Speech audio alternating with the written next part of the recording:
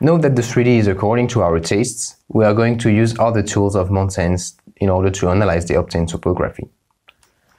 The first thing that I'm thinking of is to check out the depth of this hole.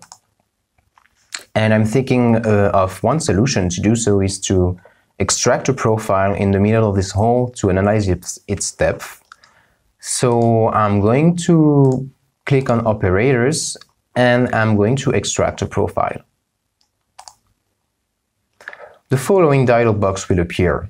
Obviously, you can, you can choose where you want to place your extra profile extraction, but you also have other options in this dialog box, such as pick only one profile or extract an average profile. And you can also choose the direction of the extraction.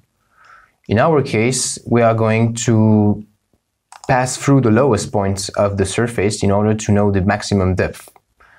So I'm going to pick this option and it seems okay. So I'm going to click on OK. Now I'm going to use the step height study in order to analyze the depth of this hole. So I click on the profile I just extracted, go to studies, and I click on step height.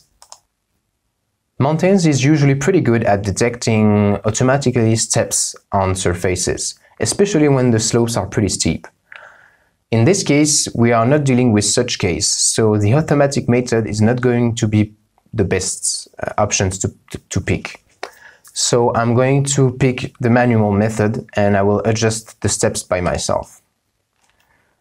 So I'm going to place the beginning of the step here and the bottom of the step here at the very lowest points. So we can observe that the maximum depth of the hole is about 12.5 micron in this case.